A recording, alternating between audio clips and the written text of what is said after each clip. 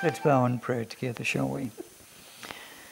Our gracious Heavenly Father, you have created us for yourself and called us to exalt your name and to show forth your glory in everything we do. Tonight, as we meet together, we do want to learn more of you and of your great and gracious love and salvation toward us. But we also do want to have our lips filled with a new song of praise. And to that end, we pray, open our eyes, help us to see more of the glory that belongs to you and our salvation. Hear us as we ask this now in Jesus' precious name. Amen. All right, tonight, chapter 28, the subject of baptism. A subject which you don't need me to tell you has been hotly disputed, and uh, there's no real desire on my part to enter into that dispute and debate tonight. Would love us to be able to pursue this just with an eager understanding to appreciate more of God's goodness and grace. I appreciate that not everybody shares the same viewpoint. Uh, I just hope that what we look at tonight will stimulate us all to think, to seek, and to search out God's truth. It's helpful to begin tonight just by recapping what we looked at last week, namely a general overview of the sacraments, because that um, does establish the framework from which the Westminster Confession of Faith and from which the Reformed confessions do uh, build their base. And you remember the understanding of the Reformers concerning the sacraments was closely connected with their understanding of the covenant of grace. They saw the sacraments as what? Can anybody remember? Don't let's go into silent mode straight away. The reformers understood the sacraments as what? What were the terms that they used? They used saw them as signs and seals of the covenant of grace.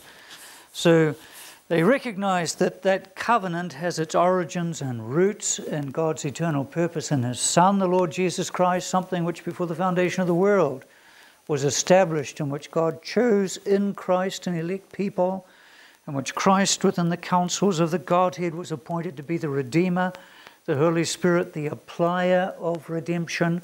And within that whole scheme and scope of God's gracious dealings with sinful man, it was also recognized that as God proclaimed the gospel of his grace in the world, as that great covenant of saving grace was administered in history, there should also be signs and seals connected with it that revealed the content of that covenant and confirmed it to the minds and hearts of people. So remember, a sign depicts the spiritual reality a seal confirms the authenticity, certainty, and security of something.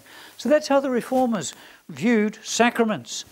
They were not something additional to the gospel message. People could be saved with the gospel message. Abraham was justified when he believed God's promise. Didn't need circumcision to save him. Circumcision was added after he believed as a sign and a seal of the righteousness he had by faith.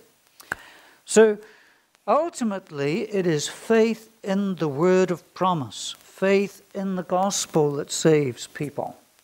Sacraments are added as visible signs and seals connected with the administration of God's kingdom and of God's grace community.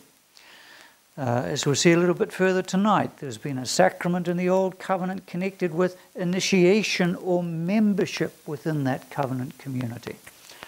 There have been other sacraments that relate to ongoing remembrance and renewal. In the Old Testament, the Passover, the New Testament, the Lord's Supper. But fundamentally, we're talking about the gospel God's grace being administered in Old and New covenants and having in the Old Covenant visible signs and seals associated with it, and in the New Covenant also signs and seals. So, have you got that? When uh, Michael and Adele made their promises to each other, when Shed and uh, Louise made their promises to each other recently, they gave each other wedding rings as an outward physical token demonstration of the covenant the promise, and the pledge. I uh, was speaking with a Pakistani friend the other day, and he said to me, "Ha ha, no wedding ring." And uh, I said, No, I haven't. He says, I don't have one either. And I said, Well, I grew up in a farming community where for generations men had not worn wedding rings. And I was a dirt scientist as well, a soil scientist, so I constantly had my hands in the mud. And so a combination of culture, uh, history, and practicality at that time, you know, men didn't wear rings, but I. Uh, I was just sharing with them how even a fortnight ago after Shed and Louise's wedding, Nola snuggled up to me in bed at night and said, You know what? Every time I go to a wedding today and I see the man also wearing a wedding ring, I wish you wore a wedding ring. and I said to her, I said to her, Dear, if I was getting married today, I would wear a wedding ring. She says, Oh, that's all I needed to hear. Point I'm making is Oh, well, that, that's right. I sometimes wonder if uh, perhaps on a wedding anniversary I might just give her a little box and say, Well, dear, here it is, all these years. But the point I'm making is the, the fact that I don't wear a wedding ring doesn't mean to say that I am not in covenant, a covenant commitment of marriage. The visible symbol that we come to associate with that isn't there. But the commitment's there, the reality of being joined in covenant marriage is there. And similarly, faith in the promises and the gospel of God saves and is real. And in a sense, from one point of view, the visible symbols were not necessarily needed for there to be justifying faith. But as we'll see tonight, God in his earthly administration of his kingdom doesn't just consider the visible tokens as something you can take or leave if you've got a soil scientist occupation or not. Uh, they are very important for God. They're very precious, not ultimately necessary unto salvation, but not to be despised and dismissed either. So, Catherine, maybe I will wear that wedding ring yet, just as a. Oh, it's, oh, it's on tape. Well, never, never mind. Mum won't mind. So. Uh, here we are. We're talking tonight then about signs and seals of a covenant. God establishes a covenant. God administers that covenant. In connection with that covenant, He also gives signs and seals. On His part, He's the one who gives the wedding ring. That's the way we understand it. He says, You put it on. You put it on. Interestingly, when he gave Noah uh, the uh, sign of the rainbow. In the ninth chapter of Genesis, remember it's not Noah when you look upon that, but rather when he, God, looks upon it. He will remember. Uh, anyway, it's a marvelous thing, this whole idea of gracious signs and seals to confirm God's gospel. That's what we're talking about. So we come tonight to baptism which, as we see, is the sign of initiation. And in our study, as our notes or the synopsis points out, there are four main sections. There are, in, in total, you'll find that there are seven articles in this 28th chapter, but I've summarized them in four main sections. They can be described as the nature and purpose of baptism, the administration of baptism, baptism and saving grace, and the frequency of baptism. So that's what we look at tonight. So to begin with, let's have a look at the nature or the meaning and the purpose of baptism. And again, I hope we know, accept, love, and trust one another enough to know we can talk about these things without feeling any tension. It is really quite important when we begin to talk about baptism to make sure we talk about the meaning of baptism, the nature or the meaning of baptism, because right at that level there are differences of understanding. So We'll begin and see what the Confession of Faith says. It says baptism is a sacrament of the New Testament or the New Covenant appointed by Jesus Christ. You might remember we talked about sacraments and talked about the number of sacraments last week. We noted that it really is only the authoritative voice of God that can invest a sacrament with efficacy and blessing. People, remember I said last week, you might decide that to have a cup of water with a daisy in it is a good symbol of perseverance. But because God has not invested that sign with that significant, we can't rely on the cup of water with the daisy in it as a means of grace and blessing. Only His Word can set something apart as a grace bearing symbol and sign and seal of his saving grace. So here we have baptism being appointed by Jesus Christ. And we've got here not only for the solemn admission of the person baptized into the visible church or the community of believers, but also to be for him a sign and seal of the covenant of grace, his being engrafted into Christ, of regeneration, of remission of sins, and of his yielding himself to God through Jesus Christ to walk in newness of life. So, here we've got a statement, to begin with, a reasonably full statement of the nature of baptism or the meaning of baptism up here. Let's have a look at our notes, follow this through. This section teaches A that baptism is a sacrament of the new covenant, and New Testament ordained by the Lord Jesus Christ. Baptism is a sacrament of the new covenant, a sign or seal of a spiritual reality it does not in itself save a person, but it does represent and confirms truths of salvation. It is a figure of that which does save. All right, I think we're happy enough with that from last week to see that sacraments do not in themselves convey grace, but they are certainly signs and seals and channels of grace. Second point, it was ordained by the Lord Jesus Christ. Our Lord instituted it by positive command in the gospel. Perhaps it's worthwhile just pausing at this point. Do you think that the whole concept and notion of baptism already existed before Jesus' ministry? Did it? Did it? Who else baptized before Jesus came? John the Baptist baptized with a baptism of repentance for the remission of sins. There's a couple of interesting passages in the New Testament. We'll come to them a little bit later, perhaps, but one in Luke and one in Mark, where the term baptism, particularly the one in Mark, Mark chapter 7, in fact, why don't we turn to there right now? There's a little interesting use of the word baptism in Mark chapter 7. Hamish preached on this passage last week, and in the third verse of Mark 7, this is a passage concerning the Pharisees having an argument with Jesus' disciples or Jesus over the fact his disciples ate with unwashed hands.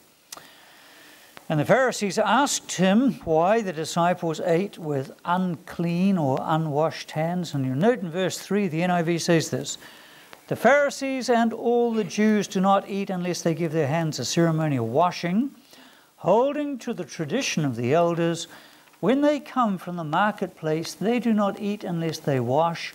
Now, here it is. And they observe many other traditions, such as the washing of cups, pitchers, and kettles. Now, that word washing there is baptism. That is the word Mark uses in the Greek. Baptizo. They baptize cups, pitchers, and kettles. The older translations also have couches. Here we are. What have we got?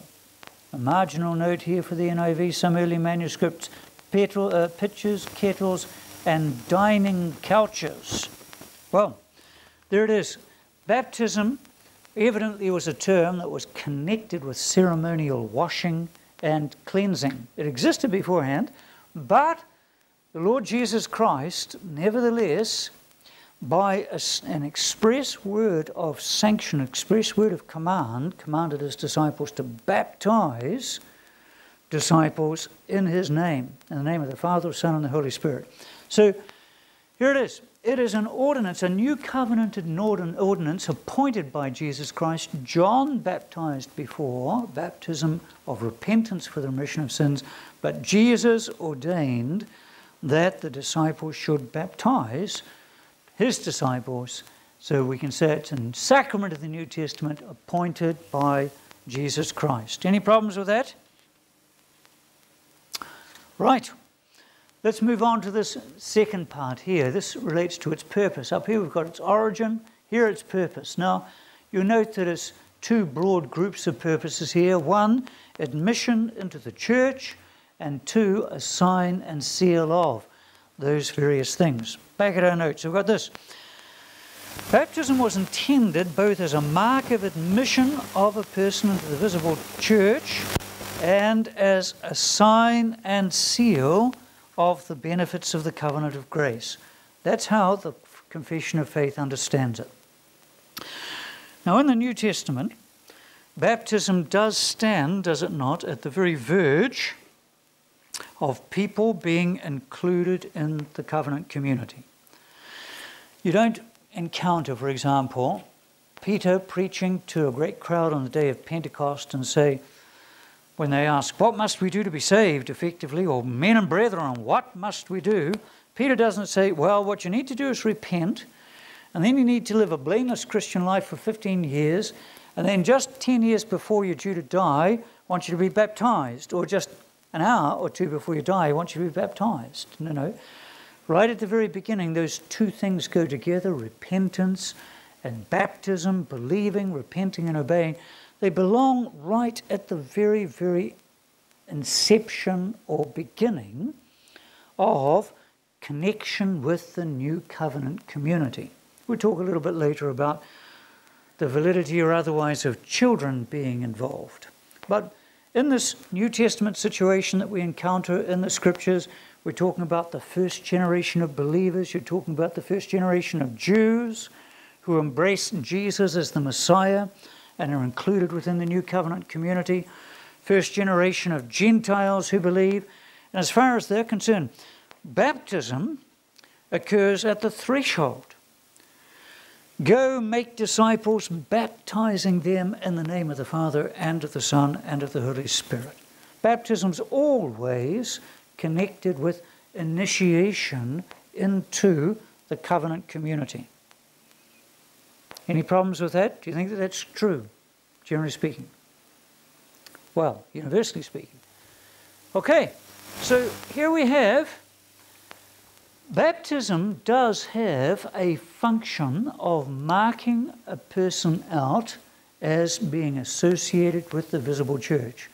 Just as in the Old Testament, circumcision was a visible emblem that a person belonged to the descendants or the household of Israel. So, baptism does serve as a demarcation ordinance separating people who follow Christ from people who don't. Some of you will have talked with folk from Muslim cultures. We have Russell here, who's lived and worked amongst Muslim people. And they will tell you that in many, many instances anyway, Muslims who actually uh, believe in Jesus as the Messiah are not necessarily excluded immediately by their families. But the moment a professing believer is baptized, that is a different thing. The families immediately recognize that that outward ordinance of baptism is indeed a very visible expression of farewelling a past and shifting one's commitment, loyalty, and belief to a whole new, not only religious system, but a whole new community and family of faith. Is that right, Russell? That, uh, right, somebody was telling me that even just last week again they were making that point. So Baptism does serve, particularly in missionary situations and cultures. Without a doubt that a person's serious. Even today, you could, a person is brought up in a non-Christian community out here. They may start attending worship and start attending church and start singing and talking Christian jargon. And say, whoa, that's, that's, that's pretty good. They're coming on board. Um, but there's still something different when a person does ask to be baptized. And in that way, visibly identified with Christ and with the community of his people. It is a radical line that people step over. And from that point of view, it does have that effect of marking people as members of the visible church. So that's one of the roles, one of the functions, one of the things that baptism does. Marks you out as a member of the visible church. Now, okay, it has that effect, but is that all? Uh, from one point of view, you could say, well, the Lord could have instituted several things that actually marked a person out. You could have just got a particular haircut, and that marked you out as a member of the church, or a tattoo, or something like that. But no, no. It is this particular ordinance that He has chosen to be the initiatory ordinance for the visible church and for participation in the new covenant community. Is it incidental, do you think, that he appointed an ordinance that had a washing character about it? I don't think so. Not in terms or not in view of, in particular, the way in which, as I said last week in the scriptures, there is a whole sign theology where God not only gives promises, but he gives visible symptoms and symbols. When it came, for example, to prefiguring the atoning death of Jesus, he didn't tell people just to go and bake a loaf of bread and eat it, but rather he chose a symbol that did reflect in a very real way the shedding of blood and the giving of life to make an atonement for sin. So there's a whole history in the scriptures of covenantal sign that does reflect something of the character of the spiritual truth that's being sealed and represented. Follow what I'm talking about? So here, the appointment of baptism as a sign is not a random thing. Jesus didn't, as it were, on the moment as he stood there on that mount, say, Go make disciples of all nations, and then I'm saying this reverently and not blasphemy. I didn't think Jesus for a moment paused and he thought, now what can I have as a, as a good sign and a good symbol of people associated? Oh, yes, that's what. Go and baptize them. I don't think Jesus had to think about that. I think that all through the Old Covenant, and as he grew up studying that Old Covenant scripture, he was well aware of the laver of water in the tabernacle furnishings and in the temple. He well knew of the whole idea of uh, the washing and cleansing of the priests before they put their garments on, the washing and cleansing of defiled people after they'd been through a ceremonial cleansing rite. He was well and truly acquainted with all those things that pointed forward to the washing of regeneration and the renewing of the Holy Spirit that was going to be connected with the covenantal blessings connected with himself. So he, as the one who saw and understood all the Old Testament types and shadows concerning himself, he didn't have to think around and say, well, what can I have as an ordinary? He knew he was fulfilling all those cleansing rites. Therefore, when it came to an initiatory sign or a sign that was to be administered to those who were his disciples, he instinctively, do I say, intuitively, automatically, significantly, uh, meaningfully said, baptize, baptize. It was fitting that there shouldn't be the sprinkling of blood or at least some kind of action that required bloodletting. You see, if you've got to use blood again, there's got to be some bloodletting procedure go on. Doesn't it make sense? If you're going to sprinkle people with blood, theoretically, I suppose, you could have sprinkled blood upon people to be his disciples because the sprinkling of the blood of the covenant. But if it was to be the sprinkling of blood, it would have had to be somebody else's blood. Is that right? Would have had to be an animal's blood or some other person's blood, but there's only one blood that does fulfill the, the, the covenantal requirements. That's the blood of Jesus. So it was fitting that there should be water applied in whatever way, and we'll talk about that later on, as a symbol that indicated that through union with Jesus Christ and participation in Him, the person concerned cleansed. All right?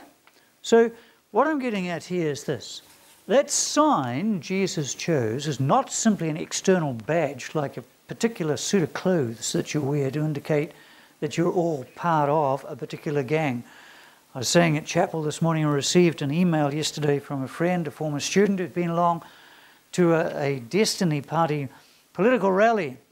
And all the candidates apparently appeared in matching black and red suits, except one who had black and blue, just being a little bit out of the order. But there you've got a kind of uniform now for a political representation and party. Now, Jesus could have said, Well, I want my disciples to wear something like that, but it's more than outward, more than just an outward badge. It's to be a sign and seal also. Okay, so not only something that marks us out as belonging to the visible church, but also intended to be a sign and seal of the covenant of grace.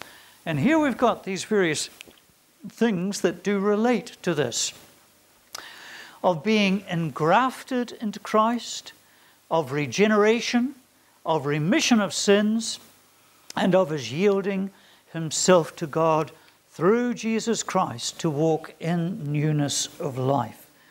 Now, these things are really quite important. Over to page two on your notes here, and there's a number of things here. We're going to take a few moments again to work through this, and I hope it is of value to you as we go through this. Now, what have we got here? Right at the bottom, page one, I've got this sign and seal of the benefits of the covenant of grace. sign and seal of the covenant of grace, page two.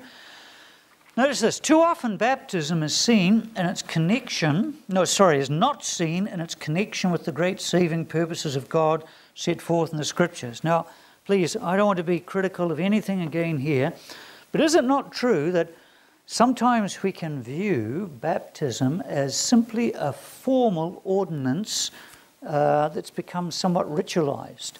Now, certainly in Paedo-Baptist communions, particularly, and I'm not again meaning to be offensive, but both in Presbyterian and in Anglican backgrounds in particular, child baptism came to be known as what? Christening, and more than anything, was associated with a name giving ceremony. And so, in a real sense, parents used to speak about having their kids done and you would go along, have your kids done, and they would be christened and named. And in a sense, you see, that whole ordinance of christening or baptism of children came to exist by itself effectively as a traditional, a religious traditional naming ceremony that didn't really have any significance with the bigger drama of salvation. Whereas what the Confession of Faith, what this particular note is saying is look, baptism, the ordinance of baptism cannot be considered apart from or understood significantly apart from the gospel of salvation. And that's what we need to understand here. Look at the quotation here from Tom Wilkinson. He says, Baptism cannot be analyzed or explained as though it was self contained, but it is illuminated by its relations to God's great promises in the covenant of grace.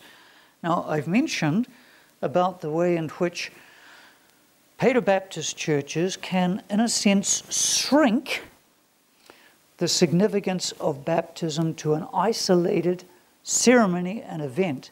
Now, that is also true of Baptist churches. It can come simply to have the significance and the force, effectively, of a, an outward sign testifying to your faith in Christ. And so, once again, it becomes an initiatory activity, but it still can be a relatively isolated event. I've been baptized. I have borne witness to the fact that I'm a follower of Jesus. And so, in a sense, it's got a slightly different meaning to the christening context. It does have a different meaning, but it's still quite isolated. Whereas if we're to understand the fuller theological significance of baptism, whether we come from a Baptistic perspective or from a Paedo Baptist perspective, we need to realize that it's connected with something much bigger than simply our personal testimony of believing or naming a child. it is in fact connected with God's great covenantal redemption of his people. And so its meaning is to be understood in terms of the gospel, in terms of salvation from that point of view. And what have we got here? The first, in terms of significance here, in terms of it's a sign and seal of what? what? What's the theological gospel significance? The first point the Confession of Faith mentions here is it is a sign and seal of his being engrafted into Christ. Now, in the, uh, in the New Testament, you'll find baptism quite frequently, or at least quite significantly mentioned in connection with union with Christ. Romans chapter 6, verse 3 is a classic passage. Or don't you know that all of us who were baptized into Christ, Jesus, were baptized into his death? Now, that's one verse that points very, very distinctly to baptism being connected with union with Christ. Don't you know that as many of you as were baptized into Christ, it has the notion of being united to Christ, baptized, baptism, and some sense or other being connected with union with Christ. You have a similar thing in Galatians chapter 3, the verse Perhaps I mightn't. Uh, here we are. Galatians 3, verse 27. For all of you who were baptized into Christ have clothed yourselves with Christ. Now, there's a couple of mentions or references to baptism being intimately connected with Christ and being baptized into Christ signifying union with Christ. Does that make sense to you? Does that seem to be what's being referred to there? Let me stand back from that a little bit and just, just uh, tease this out. I, I, um, I'm not wanting to delay, but I'm wanting to help you see this. Do you think that baptism per se necessarily is connected with union with a person. Uh, when, for example, John came baptizing for the remission of sins, was his baptism, could you say that John's baptism was baptizing people into himself? No. I don't think we can even say it was consciously baptizing people into Jesus. In Acts chapter 19, there's a differentiation made between John's baptism and Jesus' baptism. I think John's baptism was simply a baptism that did symbolize remission of sins and forgiveness. So, in a sense, baptism per se in itself I don't think unites to a person. But Professor John Murray, in his discussion of Christian baptism and in discussing baptism, says, What was it that was so unique and special about the baptism that Jesus initiated and ordained in that Great Commission? How did it differ from John's? And he underscores the fact that John's baptism was a baptism for the remission of sins, a baptism of repentance unto the remission of sins. But Jesus, when Jesus gave that command, you notice the words again? What were his words? Baptize in or in the Greek, that preposition is eis, E I S, which is commonly and perhaps more commonly translated into. Baptize into the name of the Father and of the Son and of the Holy Spirit. Now, that is so, so important when we consider baptism. Baptism is not just an ordinance out there, there is a distinctive character about Christian baptism, and the distinctive character about it is it is a baptism in or into the name of Father, Son, and Holy Spirit. It is a baptism, in other words, that does, on the one hand, speak of all the cleansing elements, which we'll look at in a moment, but above that, it is a baptism that identifies and connects and expresses the belonging to the Father, Son, and the Holy Spirit. Why don't we look just at another couple of references in this regard in the New Testament? 1 Corinthians chapter 10. There's a, an interesting, very, very similar experience, uh, expression here. in 1 Corinthians 10, Paul is still dealing with the general subject of eating and drinking food and drink that's been offered to idols. And the struggle those early Christians had in pagan cultures and knowing what they could and couldn't do in connection with idolatrous worship, and more particularly in connection with animals that had been sacrificed in idolatrous worship. And Paul's warning very definitely against them participating in anything of an idolatrous character. And he says, verse 1 of chapter 10, I don't want you to be ignorant of the fact, brothers, that our forefathers were all under the cloud and that they all passed through the sea. Now, what you think he means by that is, I don't want you to be ignorant of the fact that they were included in that great redemptive salvation event of the Old Testament. They all passed through the sea, and they were all under the cloud. That is, they were all shaded and shadowed by God's protective presence. They were all embraced by Yahweh as He brought them up out of Egypt. So they were all outwardly, anyway, identified with His people. And in verse 2, he says, They were all baptized into Moses in the cloud and in the sea. They all ate the same spiritual food. They drank the same spiritual drink.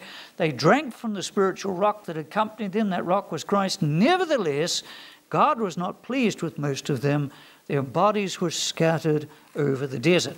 Now, basically, what he's wanting to do there is warn them and say, Our fathers all experienced incredible redemptive and covenantal blessings in the exodus out of Egypt. And yet, because of their unbelief and rebellion, most of them perished in the sea. He's effectively saying to them, You cannot count upon outward participation or participation in outward privilege for covenantal blessings and ultimate salvation.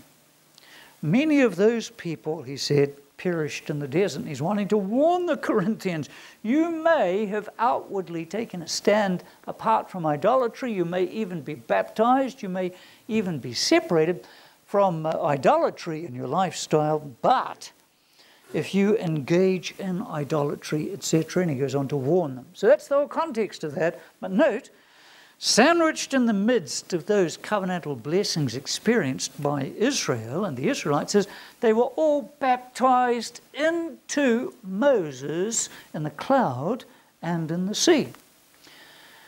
In some sense or other, what Paul is saying is those great redemptive events connected and united and identified the people with Moses.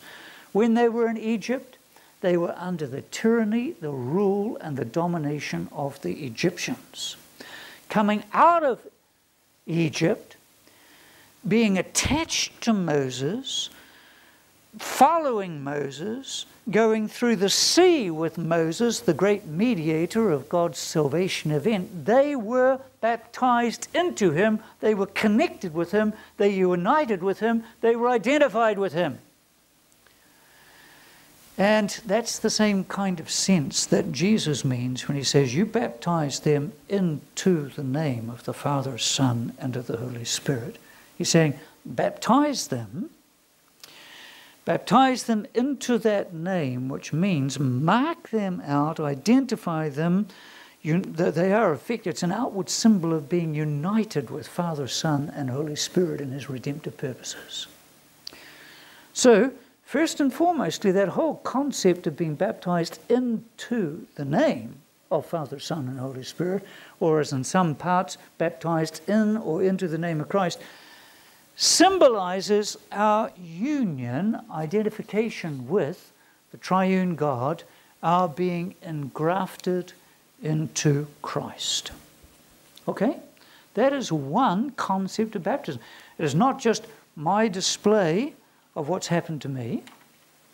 It is an outward token and symbol which, done in the name of the Father, Son, and Holy Spirit, reflects an ingrafting into Christ and a union with the triune God. Now, any, any questions about that? Can you, can you see the point I'm trying to make there? Baptism is not just a remote, isolated event that takes place once and has no continuing significance because it's in or into the name of, it symbolizes a union and an association with the triune God. Okay? Right. Now, a second thing here is it's also a symbol of regeneration and of the remission of sins. Now, I mentioned last week, did I mention last week about that whole idea of being born again of, this, of water and the Spirit? And the story, did I mention that about Nicodemus and being born again? Did I not mention that? I didn't. Okay. Maybe turn back to John 3 just for a moment. In that well known passage in John 3, Jesus' discussion with Nicodemus, he says to Nicodemus, when Nicodemus comes to him by night, Nicodemus, except a man's born again, he cannot see the kingdom of God. Remember that? Nicodemus comes? Master, or rabbi, teacher, he says, We know that you're a prophet or you're a teacher sent from God because no man can do these wonderful things you're doing unless God's with him. And Jesus immediately responds Truly, verily, Amen. I say to you, unless a man's born again, he cannot see the kingdom of God. Nicodemus was representative of a sect, if you like, or a group within Israel that believed that observance of the law would guarantee participation in the eternal kingdom of God. Jesus says, Nicodemus, let me tell you right at the outset you cannot simply by pursuing wisdom as a good scholar and teacher really see and understand the mysteries of the kingdom. You certainly can't enter the kingdom simply by rational pursuit. Something else got to happen, Nicodemus. You've got to be born from above. Born again, there's got to be something new, radical happen. Nicodemus, of course, is perplexed by this, and he says, How can a man be born when he is old. Nicodemus asked, Surely he cannot enter a second time to his mother's womb to be born. Nicodemus was evidently still thinking of this rebirth or new birth or birth from above in physical terms. But Jesus answered this by way of explanation. He adds this I tell you the truth. No one can enter the kingdom of God unless he is born of water and the Spirit. Flesh gives birth to flesh, but the Spirit gives birth to spirit. Now, that's tremendously significant. Jesus effectively saying, look, the very best that flesh can bring forth is flesh. Human nature gives birth to human nature, and there's nothing that it can do beyond that. And what is more, sinful, fallen human nation, nature can do nothing but bring forth sinful, fallen human nature. Whereas that spiritual insight, spiritual perception, spiritual fittedness for the eternal kingdom can only be brought about by a spiritual birth got to be something happened to us, a rebirth by the Holy Spirit before people can enter the kingdom. Got to be two births. Flesh and blood cannot inherit the kingdom of God. There does have to be a birth from above. Now, point I'm making is this. Notice that Jesus, when he first elaborates on this, says, unless a man is born of water and the Spirit. Many people think that Jesus is here alluding to baptism, born through baptism. That's probably not what he's referring to, either John's baptism or Christian baptism. Christian baptism hadn't been instituted at this particular point in time. What is much more likely is that Jesus is alluding to Ezekiel 36, and uh, those verses where, perhaps I mentioned this last, I can't remember where I've mentioned this last, but I know I have. Verse 25 of Ezekiel 36, where God, speaking of the blessings of the new covenant era, says, I will sprinkle clean water on you, and you will be clean. I will cleanse you from all your impurities and from all your idols. I will give you a new heart and put a new spirit in you. I will remove from you your heart of stone and will give you a heart of flesh. And I will put my spirit in you and move you to follow my decrees and be careful to keep my laws. Now, notice how in those particular verses, what Jesus is predicting is he's essentially going to, or what, what the prophet, what God's predicting through the prophet is going to do two things. He's going to sprinkle them with water and they're going to be clean. He is going to purify them. That cleansing has the idea of washing away of their defilement. I was doing a bit of weeding in the garden the other day. Inevitable when you're weeding in the garden, you've got flowers there, and there's not that many flowers in our garden, but there were nevertheless some that you get a bit of soil and light friable composty stuff sprinkled over the leaves. And what once was a quite pretty petunia now becomes a kind of speckled petunia. But the rains come down, since, believe it or not, does rain occasionally up here in Auckland. And the rains come down and all of that surface splotching has been cleansed away. And God is anticipating a time when He is going to wash and purify the sins of people away. So that's one dimension of what He was prophesying through Ezekiel the idea of cleansing and remitting, this washing away and remitting of sins, no longer holding them against us in any way at all. But then in Ezekiel, you remember, God says something more. He says he's going to address the problem, what? Of a hard heart. I will put my spirit in them, I will take away the stony heart and make it a fleshly heart that will now respond to my commandments. Now, it is important to see that in God's renewing work of grace, which He does by the Holy Spirit, there are those two things that happen. There is the regenerating of the inner man, the opening of the eyes of the mind and heart. There is the softening of the will, the quickening of the affections and purifying of the affections so that the inner man is given a new bent, a new capacity, not perfected, but nevertheless there is an impulse toward right that's put there right in the depths of the heart.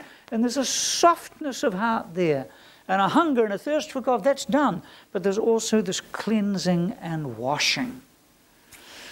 Now, the best commentators and theologians that I've been able to read and study in connection with John 3 highlight the fact that when Jesus said, You've got to be born from above, unless you're born of water and of the Spirit, he's not necessarily talking about two rebirths, one through baptism and one through spirit baptism.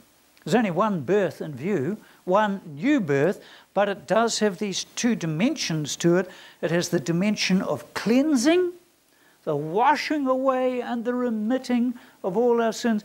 And it also does have that dimension of renewing the heart, softening, transforming, and regenerating.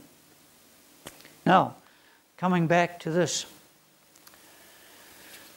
the framers of the Confession of Faith pick up on this and they say, when we are baptized into Jesus Christ, our baptism firstly signifies our union with Christ because it's a baptism into the name of Christ and into the name of the Father and into the name of the Son.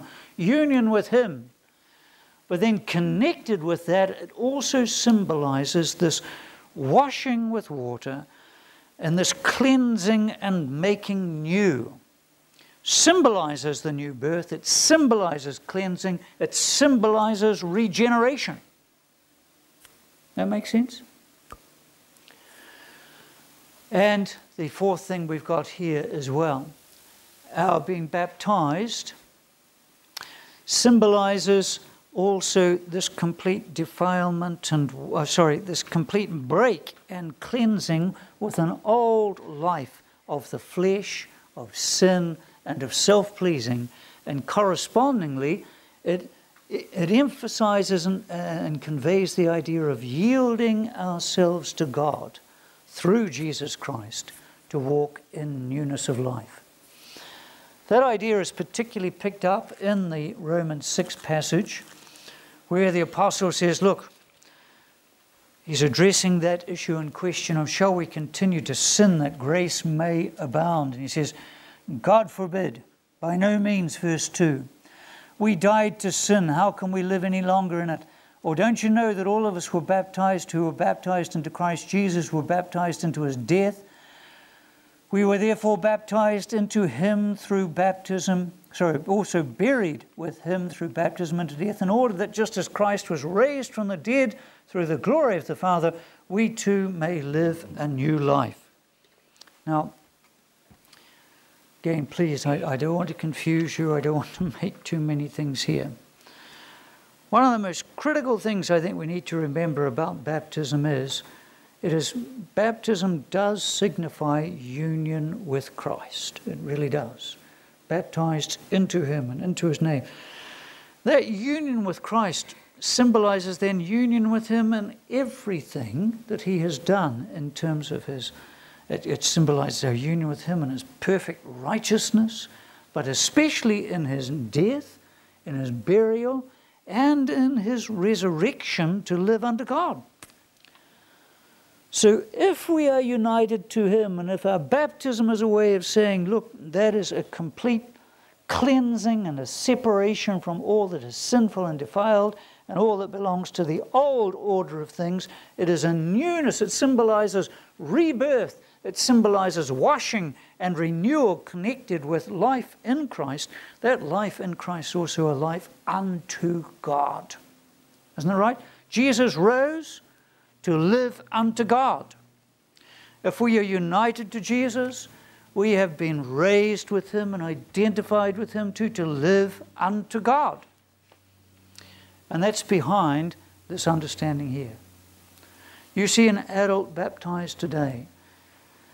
What we are to see in that is not only a symbol that's marking them out as being a member of the visible church, and does do that, but is also an outward sign that indicates that these people are graphically united with Christ and united with Him in all the benefits of His salvation. And specifically, as we look at that water, whether it's applied in the way of sprinkling or pouring, or people are immersed into that, the whole concept to be associated with that is cleansing, renewal, rebirth, remaking. It symbolizes the regenerative newness connected with union in Jesus and being baptized into Him through the Holy Spirit. Is that all right? Comments, questions? That's the kind of fuller, richer understanding Right? Well, look, last little thing we just got down here, and that, that's, that's its origin, this is its purpose. Here is just a statement about its permanence. The sacrament is, by Christ's own appointment, to be continued in his church until the end of the world. Did Christ actually, well, no, no, I won't ask that question. In the Great Commission, where Jesus does command that baptism should be administered, it's in a context of Him being preached everywhere and for all time, is it not? Go make disciples what? Of all nations. So was this just something for the Jews? No, not just for the Jews. And he ends up by saying, And lo, I am with you how long? always, even unto the end of the age. So, this ordinance of baptism was evidently meant to be administered to all disciples in every place who call on his name until the end of the age. So, until he comes back again, those who belong to the New Covenant community, those who are part of the visible church, are to be baptized. And this is something of its rich significance and meaning. Any comments? Questions? All right, let's take a break. And we'll come back and look at areas of the administration of it, its efficacy, and so on.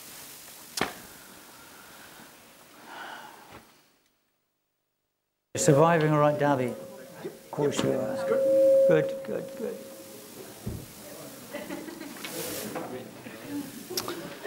All right, well, look, let's pick up where we left off. This next section looks at the administration of baptism. and this particular section I've got summarized up here does embrace three of the articles in the confession. Articles 2, 3, and 4 are all embraced in this one. So, what have we got? We've got the manner and the mode and the subjects. And uh, this is the one in which we do get into some more disputable issues and areas, but let's go through. Firstly, having a look at the manner. The confession begins by saying, The outward element to be used in this sacrament is water. And you say, Well, of course, nobody disputes that. What are you talking about? Well, if you have a look at your notes on page 3, under A.1, you'll find a citation here from John McPherson, who, under this area of the material element to be used in baptism as water, says this only water is recognized as the element to be used. Besides this, in the Romish Church, an elaborate ceremonial was introduced comprising the sign of the cross, salt, touching ear and nose with spittle, anointing with oil, dressing in a white robe, and carrying a burning torch. All these, as unordained, whatever their symbolic suitability, must be regarded as at least unessential to the admission of the sacrament. Well, he's been very kind. At the least unessential, at worst, he could have probably added downright superstitious clutter that uh, gets in the road. In the United States, there was a debate between the southern and northern Presbyterian churches in the 19th century when they separated and distinguished as separate bodies. The northern church recognized Roman Catholic baptism, but the Southern Church, under Dabney and Thornwell and others, didn't. And in James Henley Thornwell's discussions on Popish baptism, or as he calls it, or Roman Catholic baptism, one of the reasons for not accepting Roman Catholic baptism in the Southern Church was that they did uh, pervert even the elements of baptism uh, namely mingling sacred oil or having consecrated water, and in that regard, introducing elements of superstition into the very practice of the rite. So, this is really why this is stated up here.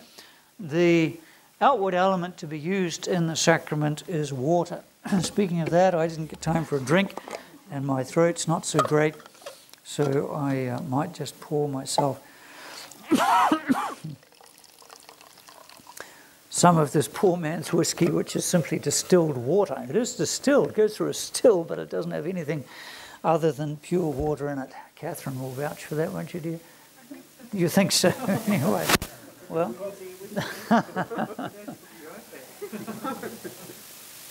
yes, well, we have to be careful. You see, we do have a still in the garage, but uh, it is just a water still anyway. Carry on.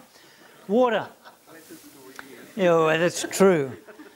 the outward element to be used in the sacrament is water. Now, here we go. With which the person is to be baptized in the name of the Father, the Son, and the Holy Spirit by a minister of the gospel who's been lawfully called to the ministry. Now, this part here, we'll just uh, refer back to what I said last week. The insistence and the tying of the administration of the sacraments to lawfully ordained ministers has had a twofold basis. Number one, the sacrament only has meaning in connection with the word. Even as tonight, as I've sought to explain the significance of baptism as Reformed churches understand it, um, you see that it's quite different to the superstitious notion that a few drops of water sprinkled on somebody does regenerate the soul. And if you leave the sacrament without the ministry of the word, you are inclined to get all sorts of superstitious rites and understandings connected with it. So, historically, it's been recognized the proper administration and benefit of the sacraments requires the ministry of the word, and therefore it's properly administered by a minister of the word. And the second idea, as I mentioned last week, was it's not a private ordinance, but rather a, an ordinance belonging to the church, per se, and properly to be administered by a representative of the church. So that's this part here. And I've mentioned the fact that it is baptism into the triune God. Uh, although in the New Testament, the emphasis often tends to be upon union with Christ, nevertheless, we must remember that our redemption and our salvation is truly Trinitarian. It has its roots in the Father's electing, covenantal design and purpose and love in eternity, and the Son's achieving of that saving plan of God and of the Holy Spirit's application. One God, three persons, baptized into one is baptized into all. It is a triune God who effects our salvation and into whose name we are baptized. We are children of the Father. We are members of Christ the Son. We are indwelt by the Holy Spirit. And it's fitting that that baptismal formula should uh, symbolize our union and participation with the three members of the Godhead. All right? So that is the manner. It involves water and it is a matter of being baptized into or in the name of the Father, the Son, and of the Holy Spirit. That's the fundamental essence and center point of baptism. Now, in terms of mode, I just want to check here, we can move straight on now to looking at mode. Dipping the person into the water is not necessary but baptism is rightly administered by pouring or sprinkling water upon the person. Now, in essence, and I think we'll find in this a statement that says that the confession of faith takes a moderate position here. What is it? Ooh, we'll perhaps come to it later on. The confession of faith is worded in this way to counter the strong Anabaptist position that the only legitimate mode of administering baptism is dipping people into the water. And I'm sure you're aware of the fact that it's characteristic of the Baptist position that baptism is only rightly administered through uh, immersion in water, and anything less than that is not baptism. So the Baptistic or Anabaptistic position is that dipping is essential or it is necessary for a valid baptism. The framers of the Confession of Faith don't deny that baptism can be by dipping, but they nevertheless say it is not necessary and add that it is also rightly administered by pouring and sprinkling of water upon the person. Perhaps we can just take. Uh, have a look through our notes here and pick up one or two things just as we go through this again. so, under B, point one, okay, page three, we're looking at B, point one. There are three acceptable modes of administering baptism dipping a person into the water is not necessary. The Confession of Faith takes a moderate view on the way baptism is to be performed. Some denominations insist on a single proper method. The Confession of Faith argues that while water is to be the medium, the mode of baptism is not fixed. Arguments for immersion only are not definitive or compelling. This is uh, the position we hold to as Reformed Presbyterians. Claims that the Greek words are always used in the sense of immersion cannot be substantiated. G.I. Williamson makes this point the fact that the word baptizo does not mean, or sorry, the fact is that the word baptizo does not mean immersion. The, uh, there's got to be a distinction in our minds between uh, baptism and the act of baptism. Uh, to baptize with suffering, for example, uh, does not really have reference to a particular physical mode of any action. It's simply a term. To be baptized into means to be brought into union with suffering, or to experience suffering, or have suffering come upon us, or be plunged into suffering, or something or other. The, the word baptized doesn't per se in itself demand a mode of definition for its meaning. It doesn't mean that. This is what Williamson's saying. The fact is, the fact is that the word does not mean immersion. This is not to say that the term cannot legitimately be applied to an action involving immersion. Okay? You can use the term baptism to, re- to refer to a, an act of immersing people in water. But it's a question of whether baptism actually means immersion. It is only that the term doesn't have that precise meaning. Well, I've alluded to Luke or Matthew 7 1 to 3. There are instances where this claim cannot be established. The method of washing hands, for example, excludes immersion, for washing was by pouring water into each cupped hand and allowing it to pass through the fingers so as to reach all parts of the hand. Pausing for a moment there, it is fairly well established that in washing rituals in the Old Covenant and the Old Testament, the idea of simply plunging, and certainly repeated plunging of soiled hands into a still body of water, did not have the idea of cleansing. You can understand why. You only got to be shearing and we, I remember when we were shearing, we used to have an old aluminium basin. And that always used to be put uh, outside the house before you came in to have your lunch. And there was a towel and a soap there, and you, the first person that washed their hands, and that got a good deal. But by the time you were the sixth person, uh, that water was foul.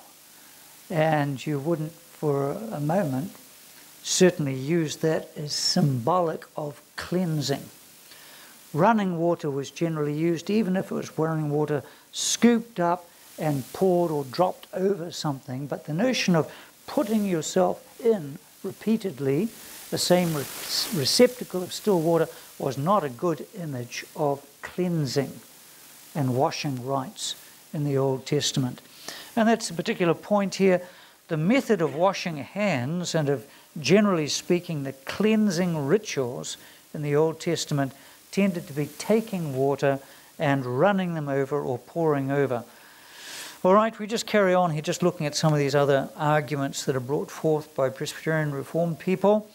The forgiveness of sins that baptism signifies is often represented in the Old Testament rituals by the figure of sprinkling.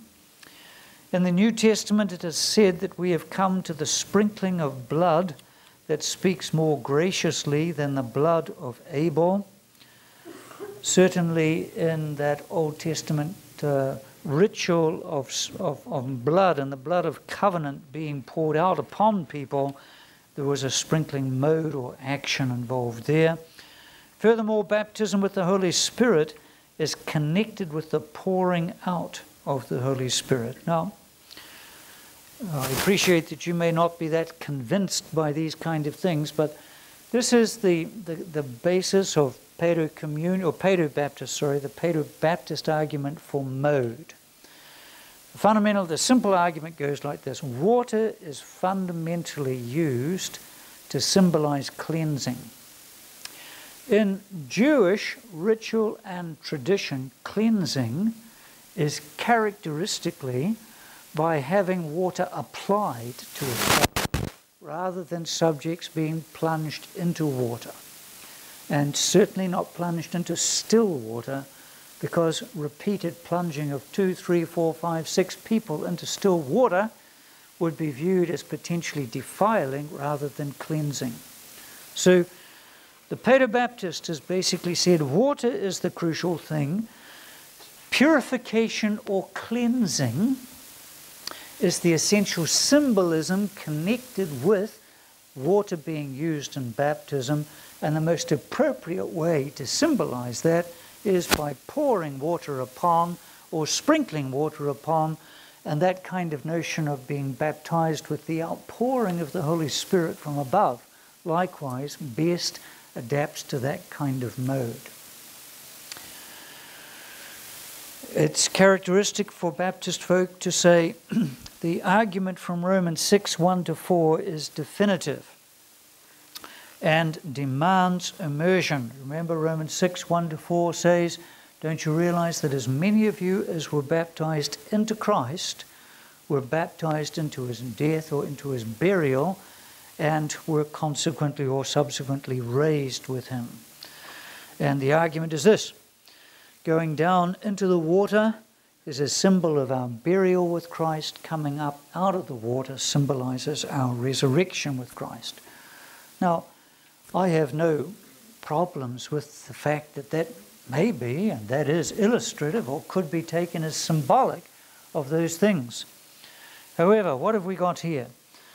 The argument that we have towards the bottom of page three is this the fundamental issue in this section is not baptism into Christ's death and resurrection per se, but baptism into Christ Himself. You see, if you notice these words in Romans 6 very carefully, they say this.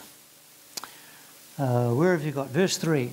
Or don't you know that all of us who were baptized into Christ Jesus were baptized into his death? Now, the particular wording and order of that's quite important. It says the, the, the critical thing is don't you know that as many of us as were baptized into Christ? That's, that's the critical thing. See, in Galatians chapter 3, it can say, As many of you as were baptized into Christ have put on Christ. That the essential thing that baptism does illustrate, at least from our understanding and exegesis of that, is baptism into Christ is, is baptism into union with the person of Jesus Christ. Now, that means being baptized into union with his, as I said before, his perfect righteousness, baptized into union with his death, certainly, into union with his burial, into union with his resurrection, into union even with his exaltation. We are united, being baptized into Christ, united with Christ, we are united with Him in all those facets.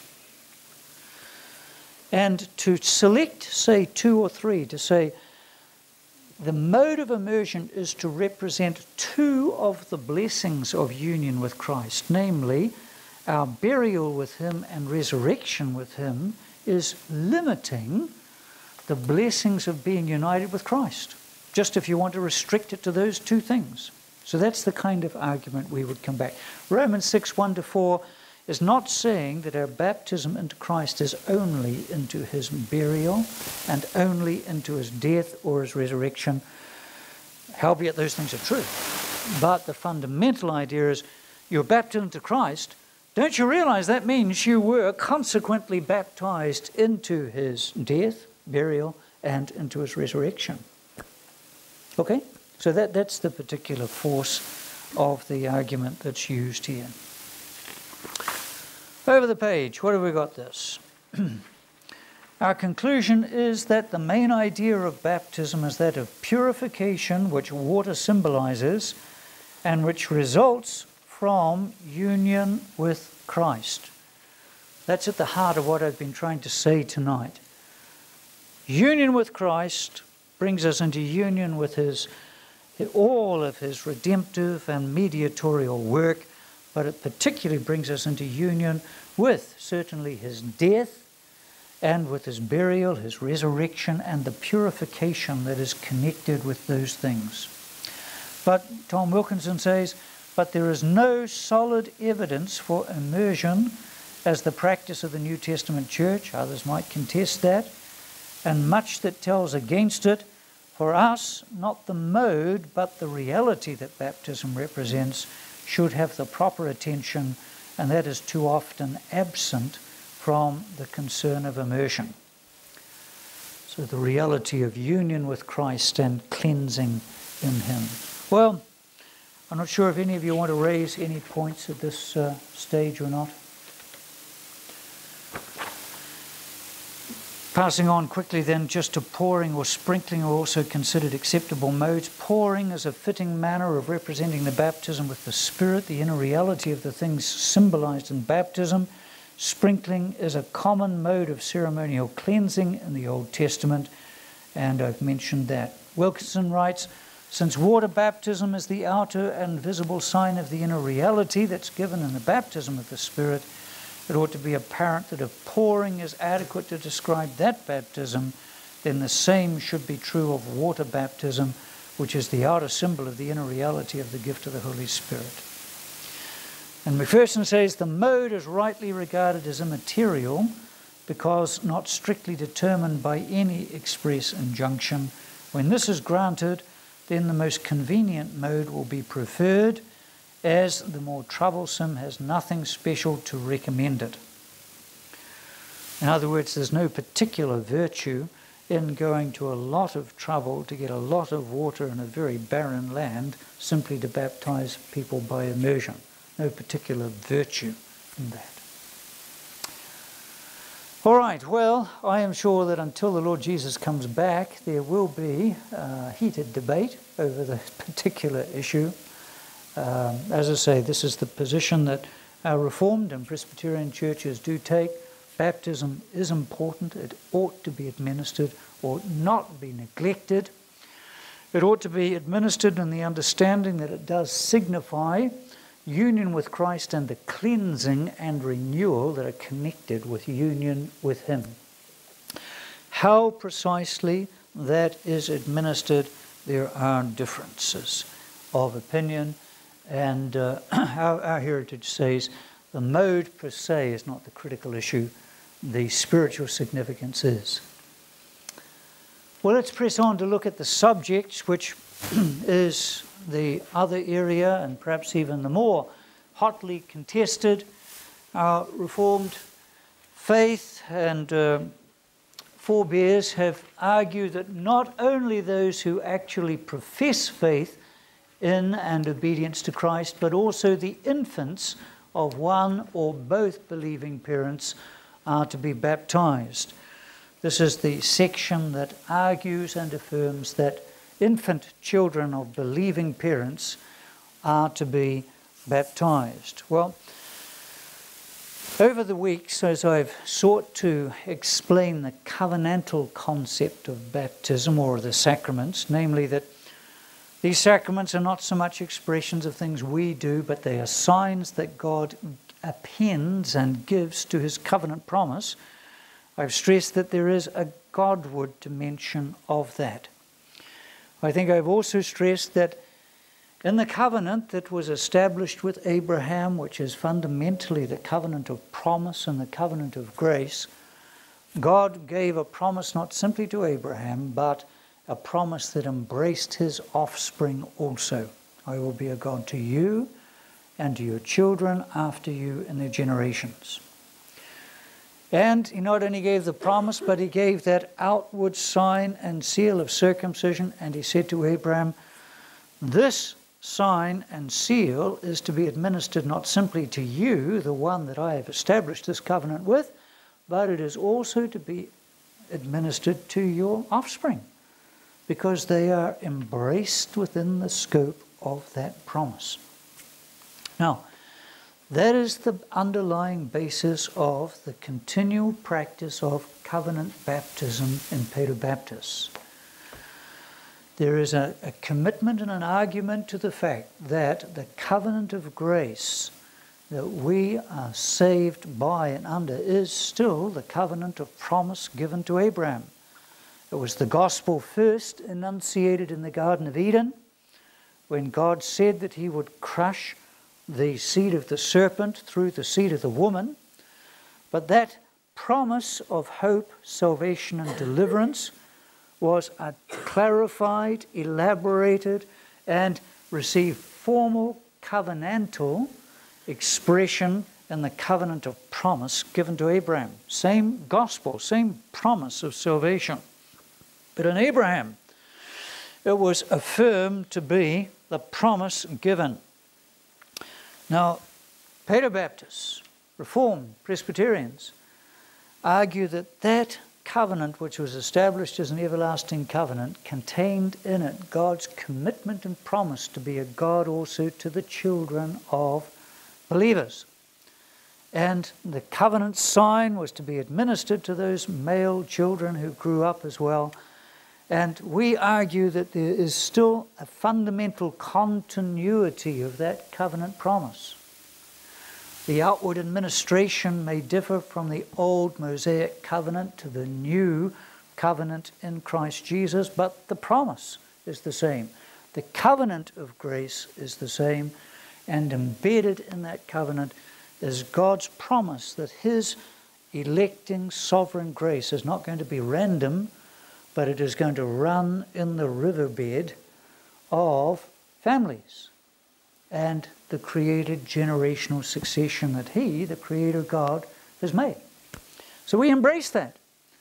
And as in the Old Covenant, children of believers were not only entitled to, but instructed to be included in that covenant community with a sign, we also embrace that and baptize our children in that same commitment of faith and belief.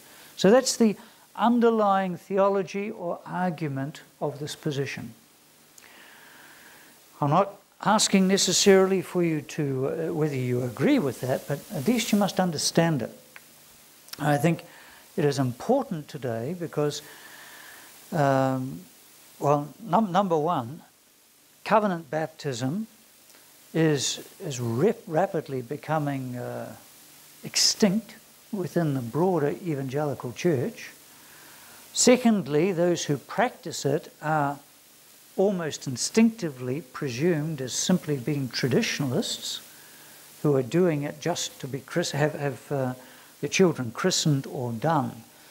And there's little appreciation that behind this lies a rich, strong covenantal theology which does not presume that the water of baptism regenerates our children, but it is a theology which recognizes that the God who saved us is the God who, from the very beginning of the Abrahamic expression of his covenant grace, and even before that, in his saving Noah and so on, indicated he's a God of families, a God who delights to redeem, to save, and to operate within the context of families so, again, not to embrace Catherine uh, here with us, but when Nola and I were blessed with the gift of children, we received our little children, as I'm sure Baptist families do as well. But we received our little children as a gift from God. We acknowledged He was the giver of this good gift. But we did more than that. We acknowledged also, as we held those little children in our arms, that God had made a covenantal claim to them and embraced them in a covenantal promise. And we, from the instant they breathed, said, Father, these are not only yours by creation, but they are yours also by your covenantal commitment of promise. And we also gladly submit them to the sign of your promised grace and we had them baptized, and they were raised in a home where, okay, it wasn't presumed that the Holy Spirit had regenerated them in the womb, it not presumed that the water of baptism had actually regenerated them, but nevertheless, it was an atmosphere of faith where our children have never known a moment where there was any kind of sense of no man's land. That we are not inside, we are not outside, but we are kind of suspended. From the very beginning, our children have been raised conscious that God has embraced them within the community of His people. And they are to be raised and taught to fear, to love, to honor, and to serve the living God. Okay, so that is the kind of strong commitment of faith that is born out of the covenantal promise. At the same time, we know that Ishmael was circumcised and ended up in Arabia. We know that Esau was circumcised, and yet God did not embrace him as a child of promise.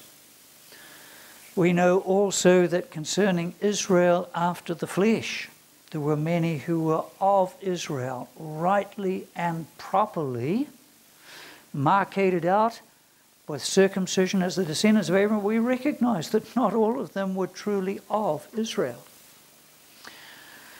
But we recognize there's a difference between God's way of administering his household and God's eternal sovereign electing decree. If God says, This is the way I want my household to be administered, then we administer it that way. And don't try to second guess his sovereign electing purposes. Abraham didn't ask God, Well, is Ishmael going to be included within the promised line? Didn't ask that, he just obeyed. Because that's God's way of administering his covenant and kingdom in the world. That's his visible administration, or his administration with the visible church.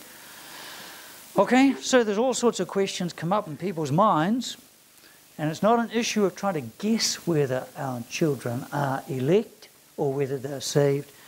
We simply are fulfilling what we believe is God's order and God's command and His way of administering His household. So that's, that's basically what lies behind this practice and this commitment here. Not only those who profess faith in Christ, but the infants of one or both believing parents. Now, time is running out on us, and I, have got a couple of pages of notes that do relate to this. Let me just pick up on some of the main points, and then if you've got any questions here. You note under, on page four, they're under point two. Infants, so also infants of one or both believing parents. The infant children of believing parents are to be baptized. This is the most hotly contested of issues relating to baptism. Grounds for this claim are founded ultimately on the unity in the Old and New covenants. The absence of specific command to baptize in the New Testament does not necessarily exclude them. Given the Old Covenant inclusion of children in the covenant, it would call for a specific exclusion of them in the new if their status was to be changed. Corroborative evidence exists for their continuing inclusion in the privileges of covenant membership. Now, let me pause for a moment. I know that arguments from silence can be said to be non arguments at all. But I want you to put this, I want you to try and, and I'm not trying to overdo this. I think that this is a very, very genuine thing. You're an, you're, you imagine you're an Israelite, okay? You're an earnest, faithful Israelite. And in keeping with the tradition of your fathers for the centuries, you have been waiting for the promised Messiah. And you have grown up generation after generation where children were circumcised, you were believed to be the people of God, and so on. So here you are. Let me say I am Andrew uh, Ben um, Enoch, or something or other. Andrew, son of Enoch, a fervent Jew. I've got my untrimmed beard and all the rest, and I've got red hair as well. Not sure if that's the case, but here I am. I am there. I'm a man like Simeon, who was in the temple, and I'm a man like Zechariah, and I am waiting for the consolation of Israel.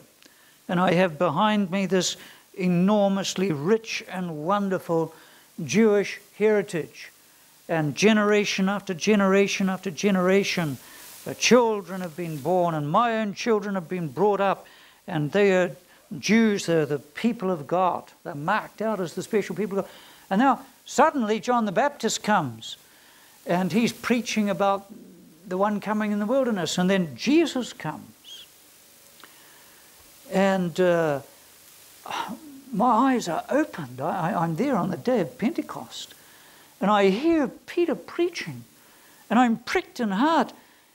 And I'm suddenly convinced that this Jesus of Nazareth, who's been crucified, is, is Lord and he is Christ. He's Messiah. Jesus is the Messiah. And suddenly I'm crying out as well to Peter, saying, What must I do? And, and Peter says, You've got to, to, to believe the gospel, you've got to repent, and you've got to be baptized. And you receive the gift of the Holy Spirit. Now, here I am, a good Jew who's been brought up in that rich culture, the solidarity of the family and community. And I've recognized Jesus is our long promised Messiah. Am I just going to be baptized myself? I think a Jew instinctively would have said, What about my household?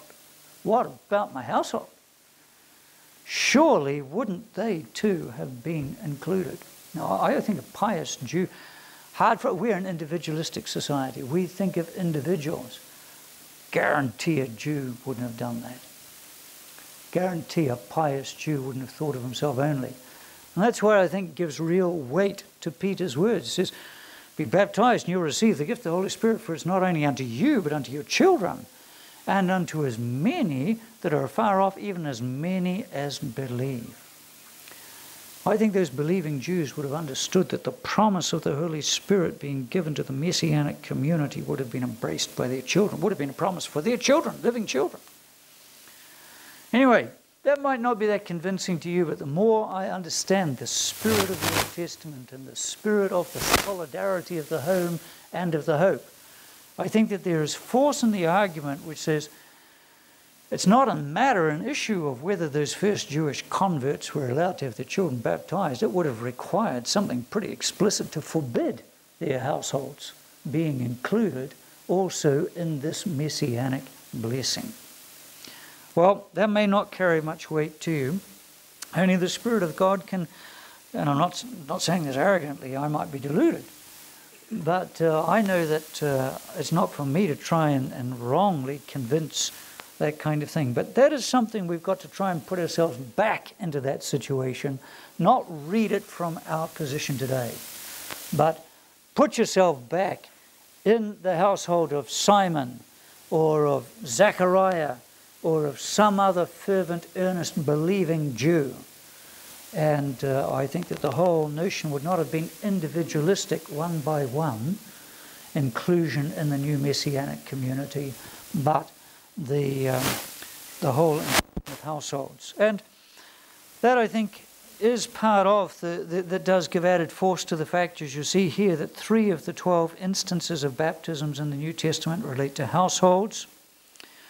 Down below, Peter's speech on the day of Pentecost also includes children. Over the page, page 5, Jesus referred to the children of members of the covenant being themselves members of the kingdom and saying that of such is the kingdom of heaven. Williamson states we are not to understand Jesus to mean adults who, in certain respects, resemble these children, either in their faith or their humility. Now, I wish I had time to explore this further, it's a common understanding that when Jesus, you remember that instance, Jesus is teaching and preaching. Parents are bringing children. Luke tells us they were babes.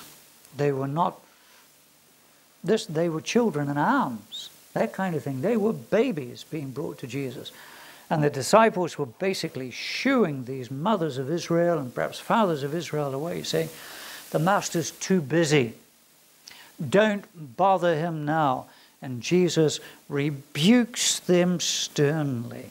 And it's important to see. He wasn't just, no, no, no, it's quite okay. I know I'm on the phone now, but I'll tell you, no, Jesus rebuked them sternly. He was angered in his heart over the shooing away of these children. And he says the reason why, he says, because of such is the kingdom of God. To them, forbid them not.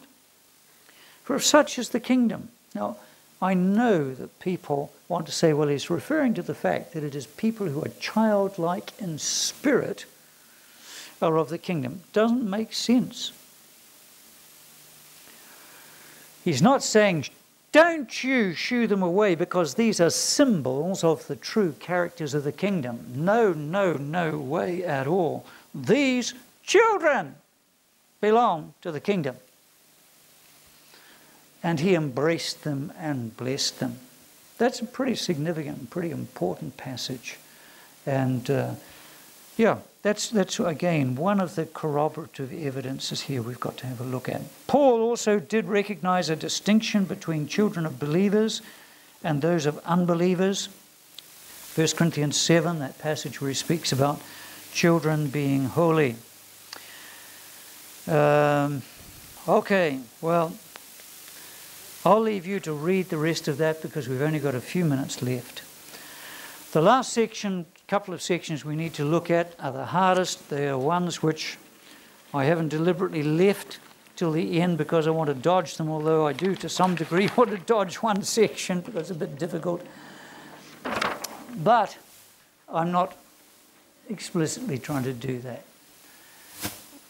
This, this particular section is looking at baptism and saving grace. And it makes the contention right up the top here. It says, although it is a great sin to despise or neglect baptism, it is a sin to despise or neglect it. You cannot look at the way in the Old Testament God deals with those who fail to circumcise children without realizing there's something pretty significant here. In Genesis 17, when God gives the ordinance of circumcision to Abraham, you remember he does make that comment. He says, Look, if anyone fails to circumcise their offspring, they have what? They have broken my covenant. He doesn't just say, You've omitted an optional extra that doesn't really mean very much. He says, You have broken my covenant, and the uncircumcised child was to be what? excluded. They are outside Israel, cut off from the people. And then you've got the instance in Exodus 4 when Moses is on his way down to Egypt after God had met him at the Mount. He's on his way down there to deliver Israel out of Egypt, and yet on the way, in the state of Min, an angel of the and then an angel of the Lord meets Moses, is going to kill him. And Zipporah, his wife, takes a sharp bit of flint, circumcises the, skin, uh, the, the, the, the two sons, casts the foreskins at his feet, and says, You're a man of bloods to me. Uh, evidently, the uncircumcised, remember, Zipporah was a wilderness, she was a shepherdess. Uh, Jethro was a prince of. Sorry? Midian, that's right, a Midianite prince. So perhaps because of that mixed marriage, Moses hadn't circumcised his children. But as he begins this specific redemptive errand, it's essential that his sons are circumcised. So I don't think we can read that kind of thing just saying the ordinances were just ho hum to God. They were very significant. So although it is a sin, yet Grace and salvation are not so inseparably connected with it that no person can be regenerated or saved without it, or that all who are baptized are undoubtedly regenerated. So here the confession of faith is wanting to argue against baptismal regeneration or connecting regenerating grace with the ordinance of baptism. And it's wanting to guard against two extremes. One, baptismal regeneration, which says that baptism per se, grace and baptism are so connected together that the instant you're baptized, you're automatically regenerated. But it's also wanting to guard against the other and the assumption that all who are, oh, sorry, this is the one here. The assumption that all who are baptized are undoubtedly regenerated. Simon Magus apparently was still in the gall of bitterness, even though he'd been baptized. Remember, he was that Samaritan black magician. And uh, so the fact you're baptized is no guarantee you've been regenerated. Uh, and but up here as well, they are not so inseparably connected that no person can be regenerated or saved without being baptized. Saying to Fulani before, a great example in that regard is that thief on the cross beside Jesus, not baptized and yet evidently going to be in paradise with Jesus. So that's guarding here baptism and salvation. Baptism is important, but yet it's not essential for salvation, and it is no guarantee of salvation. Just because you've been baptized, there's no insurance of it. And this last thing, this is the part that's particularly uh, difficult here, at least I think it is. The commentators on it tend to be a bit vague. It says this the efficacy of baptism is not tied to the moment of time basically wanting to say baptism is not just an empty sign, it's not just a memorial thing. God's grace is connected with it in some way or other. However, the grace symbolized in baptism does not necessarily become effective, the, it's not tied to the moment of time in which it's administered. Yet, notwithstanding by the right use of this ordinance, the grace promised is not offered, but is also really exhibited and conferred. This is the, the, the, uh, matter here conferred by the Holy Spirit to those, whether of age or infants, to whom the grace belongs, according to the counsel of God's own will in His own appointed time. Do wish we had time to look at this a little bit more fully. Basically, saying, look, baptism is not just an empty sign and does signify a grace. And God is pleased that when people are regenerated, it is the fulfillment of the meaning of the sign of baptism. But he's just simply saying it is not tied to that exact moment of the administration of baptism. The grace represented in baptism is not necessarily conveyed at that time. All the elect that God has appointed to be regenerated will be regenerated, but at His time. And in that sense, will fulfill the true significance and meaning of baptism. So that's the critical thing. It's not conferred to that particular time. And the last thing is the sacrament of baptism is to be administered only once to any person. That position is understood in connection with the fact that it is a symbol of regeneration and grafting into Christ, admission into the household of God. And those things only take place once. Just as circumcision, it's spiritually equivalent, and I know there's big arguments as to whether baptism's the counterpart of circumcision or not. I think its spiritual significance is the same, and that was ever only administered once. So it's appropriate that baptism only be administered once. Okay, we must finish because are people online who've had their two hours. Okay, what we've looked at tonight then is one of these sacraments, baptism. It's got a rich, rich significance connected with the gospel. It is administered to people not simply to mark their inclusion in the church, but also to symbolize and represent the blessings of the covenant grace they have in and through union with Jesus Christ. It's properly administered not simply to believers, but according to Reformed theology, also to the offspring, the infant offspring of both or one believer. 1 Corinthians 7 indicates that even one believer sanctifies the children, the offspring within the marriage. All right? So that's basically what we've looked at. Important subject, deep subject, rich subject. Let's bow in prayer as we close. Heavenly Father,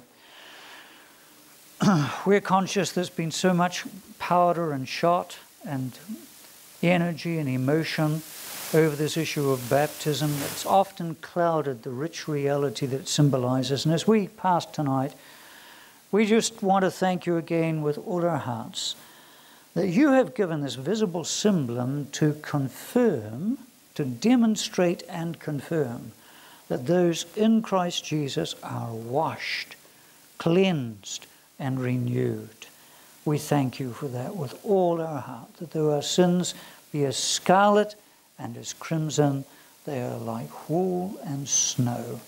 And though our hearts were by nature obdurate and as hard as the hardest flint and stone, yet through the Holy Spirit's renewing activity, they've been made alive in Christ. And we thank you for that in His name. Amen. Okay, well, thanks everyone for your patience, and I hope that was of some interest and value. Uh, thanks, Ernie and uh, Ben and Alan. Blessings. Oh, a reminder about the preschool.